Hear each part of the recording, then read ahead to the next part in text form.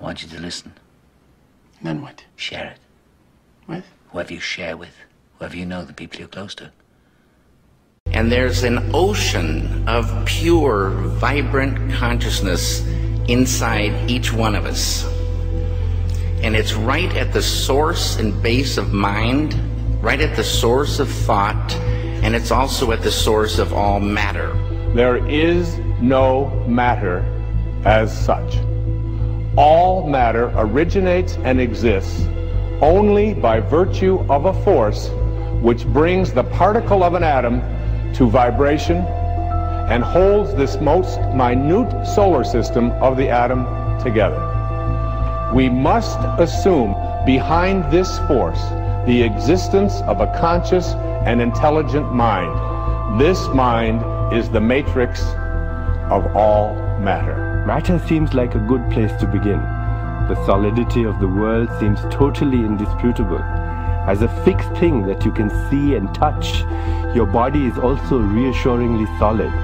But beginning with Einstein, modern physics has assured us that this solidity is a mirage. All of physical matter, everything we have around us, is the result of a frequency. And what that also means is that if you amplify the frequency, the structure of the matter will change.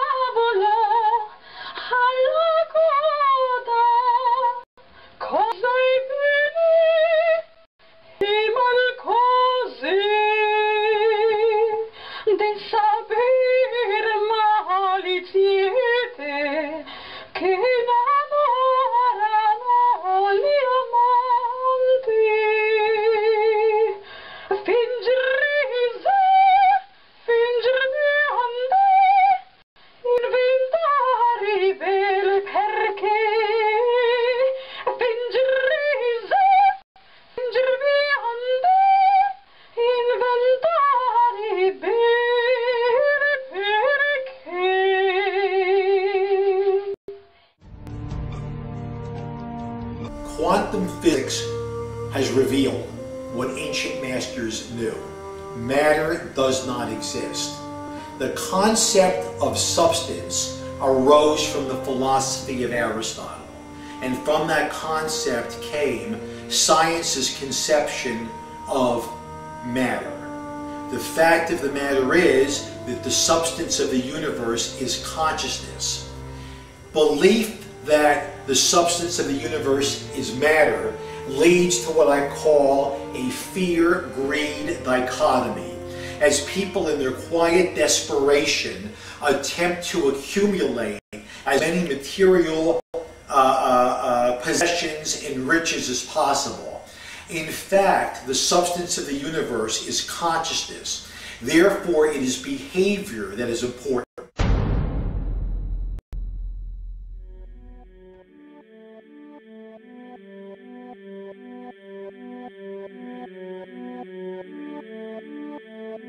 Life we perceive with our five senses is not reality.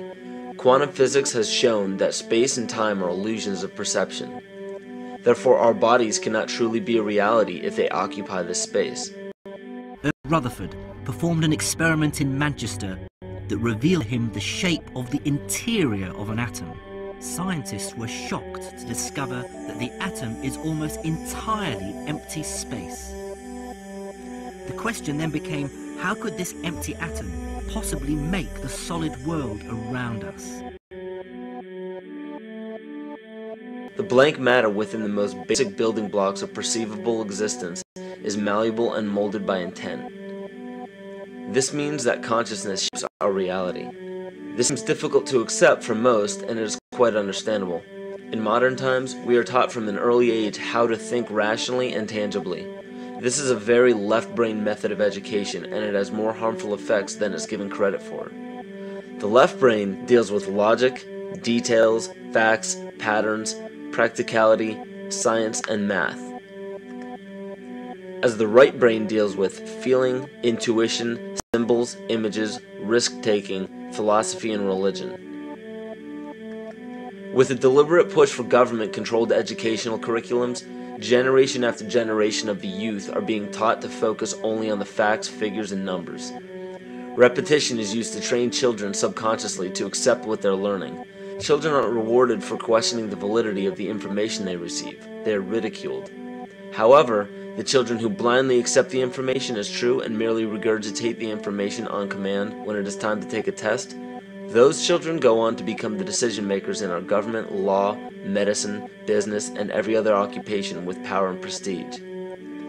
The most detrimental effect of being pushed away from holistic thinking with the full brain into a strictly left brain thought is what is known as the suppression of the feminine. Every male and female have both feminine and masculine qualities. It has nothing to do with man or woman. These are represented by the left and right brain, yin and yang, black and white, light and dark, and most every other duality. Both are vital to our spiritual and physical health. So the intangible parts of our existence, such as emotions, are part of the true reality of higher consciousness. If emotions are part of a realm that we cannot experience with our five senses, then how is it that we are all aware of our emotions?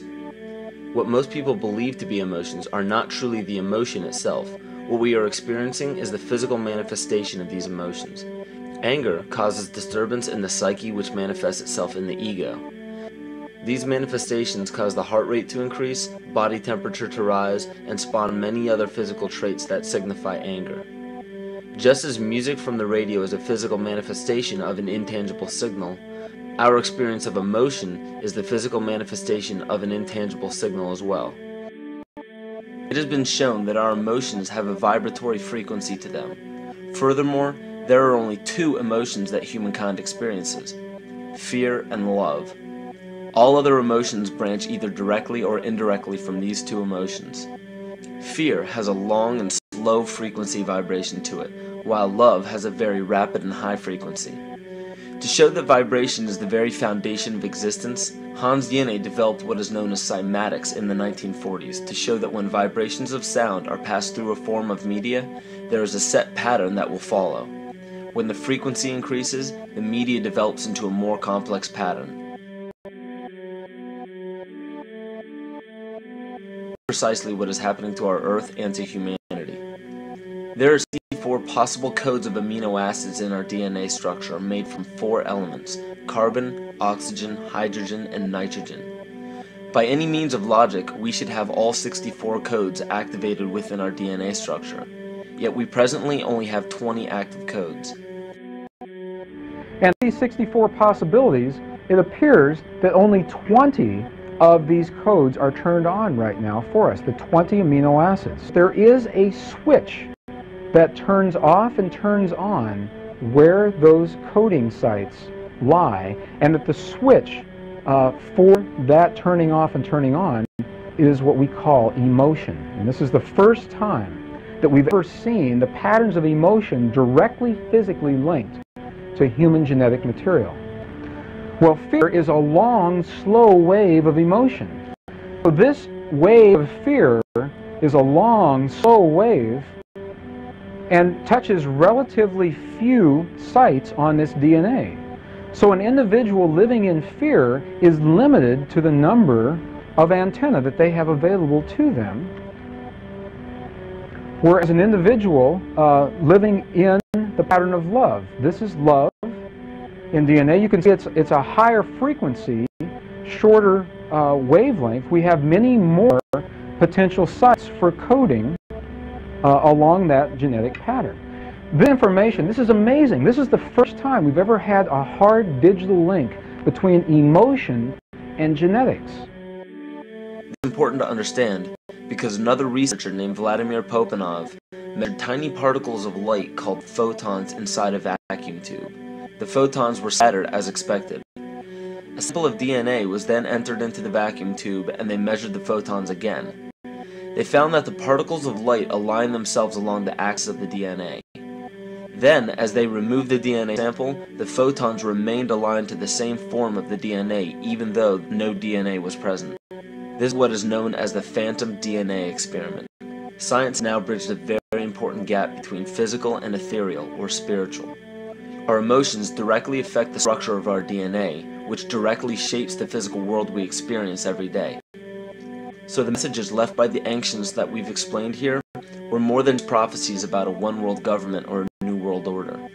We now understand why the study of the heavenly bodies were so important. The rotation and orbit of all that makes up our universe serves as a clock to map changes and transitions. This helped the ancients understand that the change of the heavenly bodies were a mirror to the changes of all existence. These are hertz, frequencies, or cycles per second that the musicians can retune their instruments to play and experiment with. Why? Again, these are the Creator's musical scale, the original solfeggio buried for 3,000 years in the Bible. So the ancient priests who knew how to levitate the huge stones for the building of the pyramids and the Masonic knowledge that predated ancient Egypt, the ability to have this information, these frequencies serve the function of creation, destruction, and miracles on behalf of the empowered people who had access to this knowledge. I say that because of this metaphor.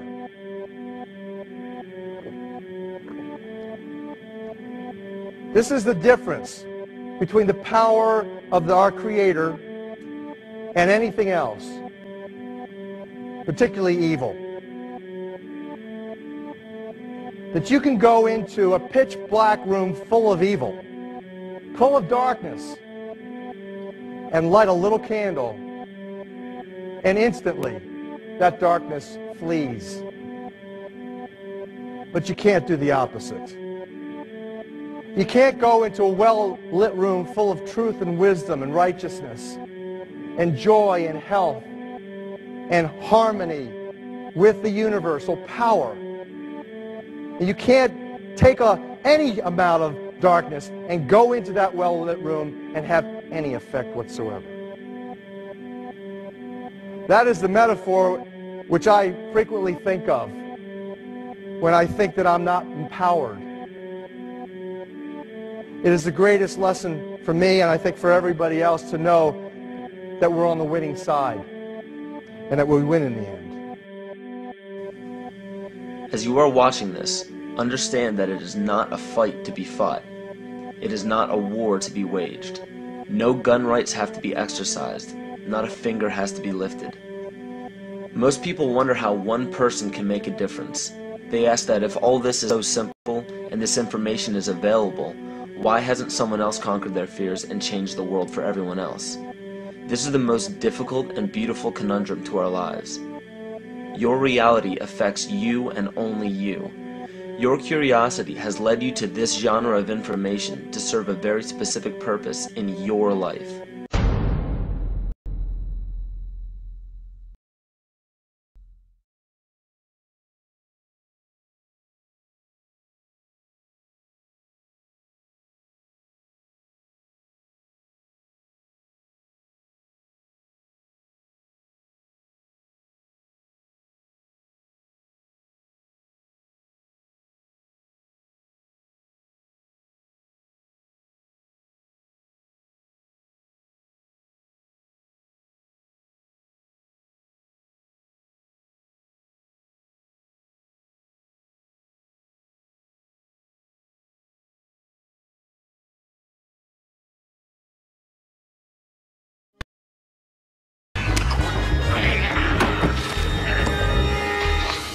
Who is in control? Huh? Are you?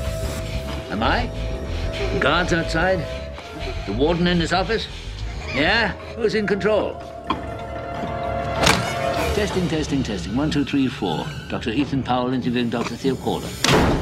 Now, this will be a very simple test. Pass or fail, life or death. You ready, Jean? Now, you write on this paper what I have taken from you. What have you lost? Write it!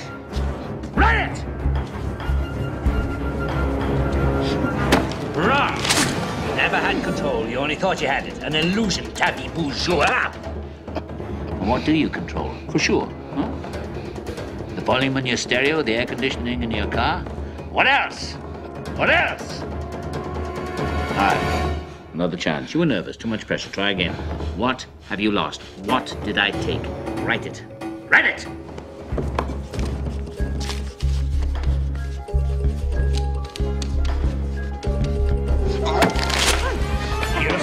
A fool, sure. Do you think you were free? Where were you going at 2 o'clock today? Into the gym, right? In the morning, your wake-up call. In the middle of the night when you wake up sweating with your heart pounding. What is it that has you all tied up, Joa? Tied up in little knots? Is it ambition? Yeah. You're no mystery to me, boy. I used to be you.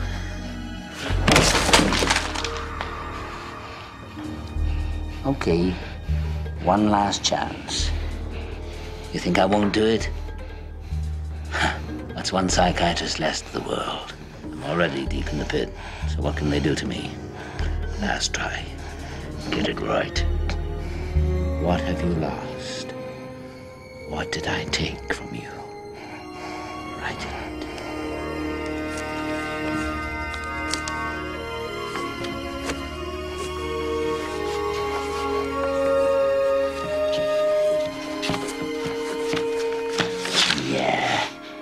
Congratulations.